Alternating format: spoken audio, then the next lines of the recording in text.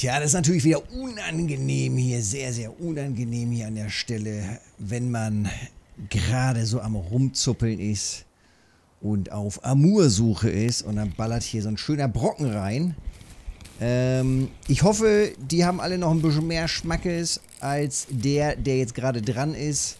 Ich suche ja seit Monaten schon die dicken, fetten Amure, Karpfen hier an der alten Festung. Und ja, ich äh, gehe mal wieder auf die Jagd.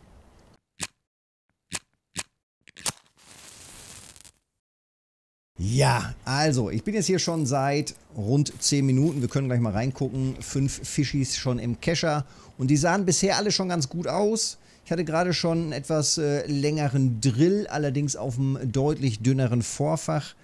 Und ähm, habe jetzt nochmal ein bisschen geändert. Extra nochmal größere Haken dran gemacht. Denn mir fehlen die verdorchten Trophies hier, die dicken Brocken an der alten Festung. Und zwar der weiße Amur, der schwarze Amur und der Schuppi. Jeweils als Trophy. Alles fürs Fangbuch. Und ähm, ich hatte jetzt nochmal in die Rekorde reingeschaut und da werden ja immer mal wieder jetzt auch äh, dicke, fette Brocken auf Johannisbeer-Kombi gezogen. Und da habe ich gedacht, komm, allen draufgeschmissen. Ich stand in der Nacht schon hier und habe hier eine Route mit, mit einem Tauwurm drin gehabt und ich habe äh, eine Kartoffel auch drin gehabt und so Sachen. Also schön gemischt. Und dann habe ich aber jetzt gerade vorhin alles nochmal umgebaut, komplett auf, äh, auf Johannes. Und dann beißen auch die dicken Brocken. Alter, das sieht doch schon gut aus. Ah! 22, Alter. 22 Kilo. Nicht schlecht. Nicht schlecht. Gerade eben schon ein dran gehabt mit 20 Kilo. Jetzt ballert hinterher der nächste auf 22. Da ist Potenzial, würde ich sagen. Bisher alles schöne Brocken. Ähm, ja gut, der erste kleine Schuppi, ne? Auf Kartoffel. Aber es geht.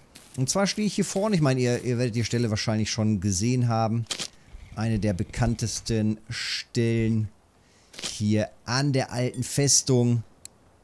So. Da oben. Einfach schön entspannt. Na, Route ist zu nah. Guck mal, das war die 1 sogar. Guck mal. Dann müssen wir hier nochmal eben neu auswerfen. Die 1. Ich habe hier auf 15 Meter geklippt. 15 Meter. Zack. Und dann landet man da genauso schön zwischen den beiden, zwischen diesen beiden Geschlonze-Bereichen in der, in der freien Stelle. Ja, und hier zuppelt es so schön vor sich hin. Wie gesagt, schon ein paar dicke Brocken dran. Wir können ja noch mal ein bisschen mehr auf Set eingehen.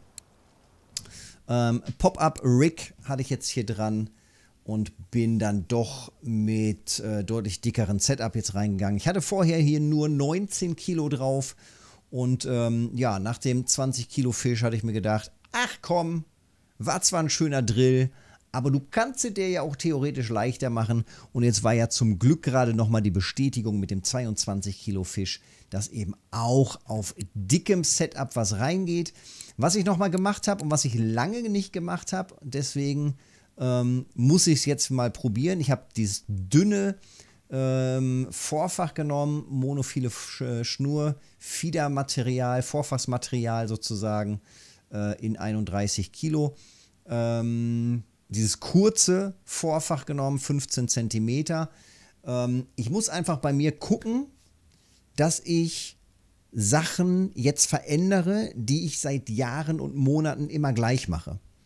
Ich habe einfach den Eindruck, dass ich bestimmte Fische nicht fange, weil ich immer die gleichen oder ähnliche Materialien verwende, ähnliches Vorfachmaterial äh, oder äh, ähnliche Haken verwende und so weiter und so weiter. Und da gehe ich jetzt einfach ran, verändere immer irgendwie kleine Komponenten in meinem Set, verändere einfach meine Angelmethode etwas und versuche so natürlich dann auch noch mir meine fehlenden Trophies zu fangen an den verschiedenen Gewässern. Und insgesamt natürlich auch, muss man sagen, jetzt sind wir ja bei ja, 60 Trophies insgesamt, 60 unterschiedliche.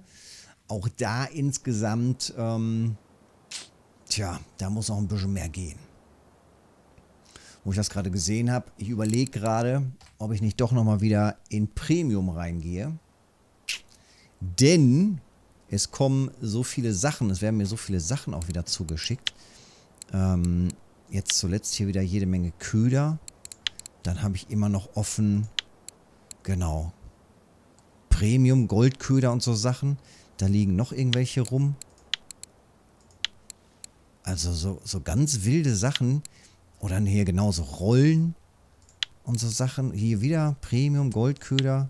Goldköder, Goldköder, leckt mich fett. Also ganz, ganz, ganz viele Sachen, die ich, ähm, die ich ja alle nicht verwende. Und die gammeln hier alle rum. Und deswegen hatte ich überlegt, ob ich mir einfach nochmal Premium hole. Und dann vielleicht in nächster Zeit einfach nochmal ein bisschen auf Wettangelbasis in verschiedensten Kategorien doch nochmal einiges raushau. Äh, ja, ich weiß noch nicht wann. Aber wäre doch eigentlich eine Option, könnte man eigentlich machen. Äh, zumal ich ja ab September eh noch ein bisschen mehr Zeit habe für das gesamte Projekt. Twitch, YouTube, RF4 natürlich. Und ähm, das heißt, da geht eh noch ein bisschen mehr Zeit rein. Und dementsprechend hatte ich mir überlegt, wäre das doch eine Option. Überlege ich noch mal ein bisschen, rechne ich noch mal durch, ob sich das lohnt Gucken wir mal. Könnt ihr ja mal unten drunter schreiben, ob ihr meint, dass das doch eine Möglichkeit wäre. Ich meine, mit den, mit den Zweit-Accounts bleibe ich natürlich Premium frei, mit den Tutorial-Accounts. Ähm, und mit dem Haupt-Account wäre ich dann vielleicht noch auf Premium eingestellt. Auch wenn ich es eigentlich nicht wollte, aber es ist schon vorteilhaft. Und wenn ich überlege, die, ähm, die ersten Jahre, wo ich mit dem Game halt angefangen habe, ähm, hatte ich eben auch Premium. Da konnte man auch sehr gut eben Sachen hin und her schicken. Es war schon praktisch. Oder Wettangeln. Hatten wir letztens schon probiert. Wettangeln, man kann den Einsatz nur so gering halten. Ich kann maximal einen, einen Wettangel äh, aufmachen mit 50 Silber Einsatz. Und wenn man da mal so ein High-End-Wettangeln machen will, geht das schon gar nicht.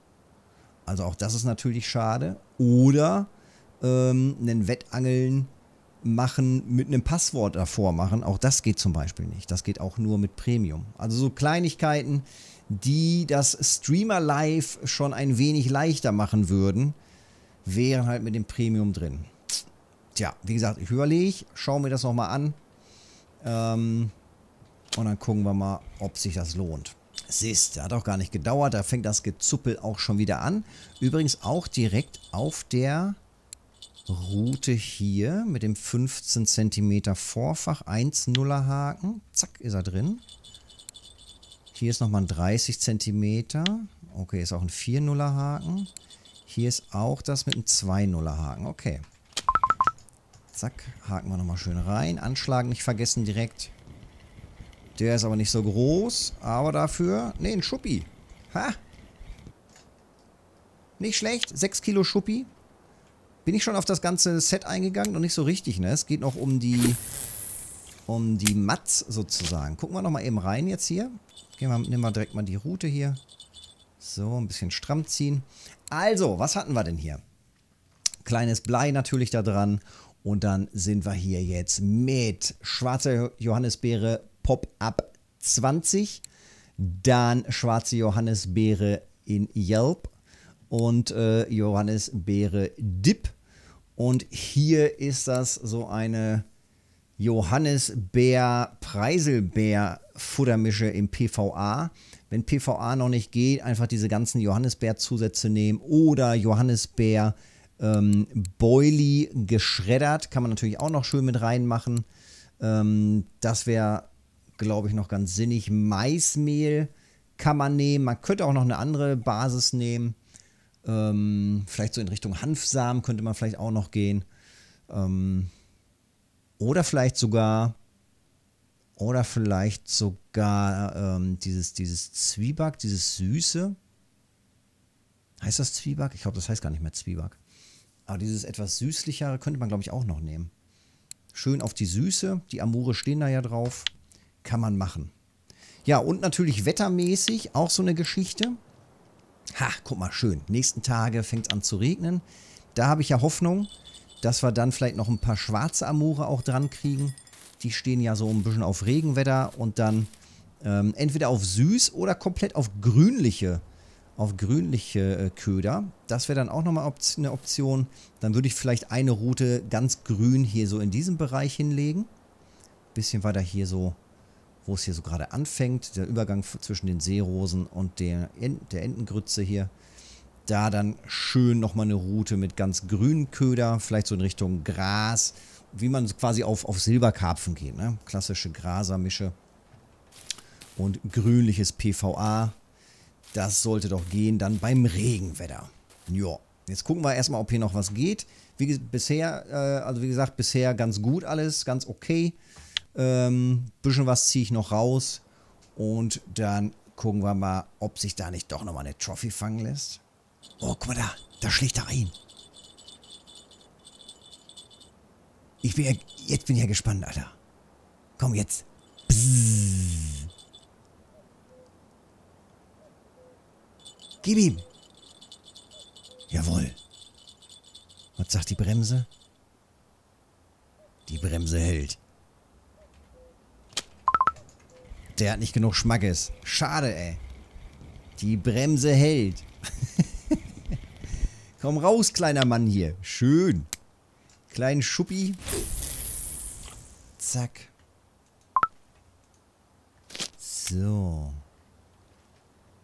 Ja, das ist natürlich jetzt hier der eine wichtige Spot fürs Angeln auf die Schuppis und auf die Karpfen, äh, beziehungsweise auf die Amure. Ähm, die anderen Stellen muss ich natürlich auch noch testen. Das heißt, einmal in dem Bereich werde ich hier nochmal testen. Ähm, und natürlich auch hier unten in dem Bereich. Vielleicht sogar hier oben an der Spitze auch nochmal. Da hatte ich jetzt zuletzt nochmal ganz Gutes gehört. Von der Fußspitze sozusagen. Ansonsten, wie gesagt, einer meiner Lieblingsspots natürlich hier die, die Ferse. Ja, und dann eigentlich hier in dem Bereich. Also die drei Stellen, die werde ich auf jeden Fall hier nochmal ein bisschen weiter beangeln. Äh, hier in dem Bereich habe ich bisher, ja hier mal selten, aber hier in dem Bereich seltener irgendwelche dicken Brocken dran gehabt. Wenn ihr hier irgendwo eine Stelle kennt, gerne auch mal unten in die Kommentare reinschreiben. Ansonsten auch gerne eure Lieblingsspots hier für Schuppi und Amur unten mal reinschreiben. Ich teste das gerne und angel das gerne nach. Ich suche die Brocken seit Jahren und muss aber auch gestehen, ich bin immer, wenn ich hier war oder häufig, wenn ich hier war, eher mit normalem Setup dran gewesen, gerne mal mit Kartoffel und so. Und wollte die auch eigentlich immer gerne mit einem relativ lowen Setup fangen, weil es halt eben auch ein Level 12 Gewässer ist. Und dass man dann aber mit einem lowen Setup eigentlich auch oder mit der Kartoffel häufig nur hier die ollen kleinen Kandidaten dran kriegt, ist halt nicht ganz so schmackig. Deswegen bin ich heute mal schön mit den dicken Routen hier mit PVA, mit Pop-Up-Montage und allem drum und dran. Also heute mal ein bisschen, bisschen prolliger unterwegs. Wie so ein richtiger Karpfenangler, Alter. Macht da hier schön ein auf Karpfenangler. und äh, mal gucken, was da geht. Ja, ein bisschen werde ich noch testen, so in die Abendstunden rein. Und dann machen wir mal hier schön Kassensturz, wa? Tja, zum Abend hin dann absolute Flaute. Gar nichts mehr bisher gebissen. Katastrophe. Schauen wir nochmal eben rein. Amure hatten wir dran. Guck mal, hier ist noch einer drin mit 28. Das wäre doch mal ein Träumchen. Da gehen wir aber auch gleich nochmal hin auf Jagd. Äh, ich werde das, wie gesagt, an den anderen Stellen nochmal weiterhin versuchen. Äh, oh, guck mal hier. Trophy Barsch ist auch drin.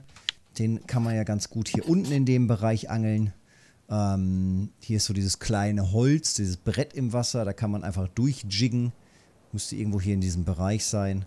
Oder auch äh, mit, mit Tauwurm kann man das natürlich, kann man den auch irgendwie mal versuchen. Da gibt es verschiedene Bereiche, dann auch auf Tauwurm für den Barsch. Ja, Schleie sollte man auch ganz gut rauskriegen hier, gerade mit 800 Gramm. 4 Kilo, dann nehmen wir mal den 6er oder knapp 7 dafür. Der bringt dann immerhin 39, knappe 40 Silber. Und der Rest, die restlichen Brocken, tja, tja, tja, tja. 100 zusammen, 140 also. Naja, immerhin knappe Stunde jetzt hier rumgedöbelt. Ähm, aber das war natürlich auch hier gerade im Anfangsbereich sehr viel Rumprobiererei. Also sagen wir mal so rund 40 Minuten, da ging es dann los, richtig mit der Montage. 140 Silber ist okay, waren halt auch ein paar ganz schöne dabei, aber das ist natürlich noch nicht genug. Die Frequenz war, ihr seht die großen Abstände hier zwischendrin, die war einfach zu groß. Zwischendurch hier fast 10 Minuten oder gut 10 Minuten Abstand. Ähm, das ist halt nicht wirklich sexy. Aber darum geht es mir ja auch nicht. Für mein Angeln jetzt gerade ist es nur noch wichtig, dass ich mir endlich die Trophies hier reinziehe. Nichtsdestotrotz fängt man, wenn man will, halt an diesen Stellen eben auch die dicken, fetten Brocken. Ähm, ich werde jetzt doch gleich weiter rumprobieren. Wie gesagt, hier in dem Bereich auch nochmal. Hier rechne ich eher mit Schuppenkarpfen und hier unten dann auch nochmal, auch hier eher dann Amure, beziehungsweise hier oben sollten auch eher auch die Schuppenkarpfen dann wieder sein. Ausprobieren, rumprobieren. Petri, ihr Lümmels, wir sehen uns dann später im Livestream auf Twitch. Und ansonsten im nächsten Video, wenn noch nicht geschehen, bam, Daumen da lassen, den Kanal abonnieren. Petri.